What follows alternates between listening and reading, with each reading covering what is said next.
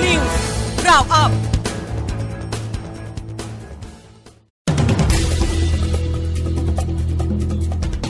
13นาฬิกา9นาที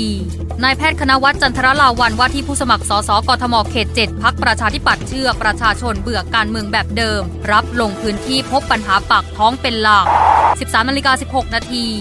การลงทุนในตลาดหุ้นไทยภาคเช้าปิดตลาดดัชนีปรับตัวเพิ่มขึ้น 2.56 จุด แตะ 1,590.19 จุด ด้วยมูลค่าการซื้อขาย 2114.95 ล้านบาท 13นาฬิกา32 นาที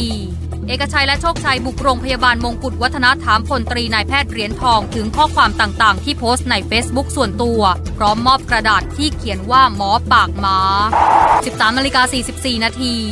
ไทยลาวประชุมทวิภาคีครั้งที่ 17 ป้องกันปราบปรามยาเสพติดตามแนวชายแดน นำศาสตร์ของพระราชาพัฒนานำร่อง เพาะปลูกกัญชา 3 พื้นที่ ล่าสุด 13นาฬิกา53 นาที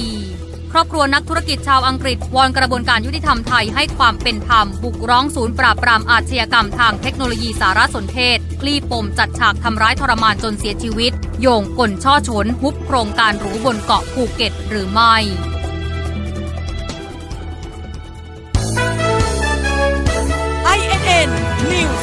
Shout up.